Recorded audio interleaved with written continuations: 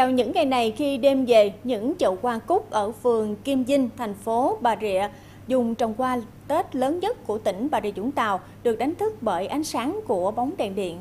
Và như hình ảnh quý khán giả đang nhìn thấy ở đây, việc trong đèn thâu đêm như thế này nhằm biến đêm thành ngày, đánh thức không cho hoa cúc ngủ và sinh trưởng nhanh hơn. Sau đây là ghi nhận của người đưa tin 24 giờ.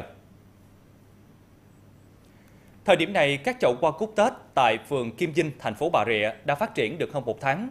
Để qua cúc kịp khoe sắc đúng vào dịp Tết, người trồng qua không những thường xuyên ra vườn chăm sóc, bón phân, mà bắt đầu từ cuối tháng 9, các nhà vườn đã tiến hành trong đèn thắp sáng cho cây. Việc trong đèn trên những ruộng qua là một trong những kỹ thuật cần thiết được người trồng qua cúc áp dụng để cho cây qua phát triển theo ý muốn của người trồng. Thời gian trong đèn kéo dài khoảng 3 tháng. Sau thời gian này thì các nhà vườn sẽ cắt điện để cho qua làm nụ và ra bông.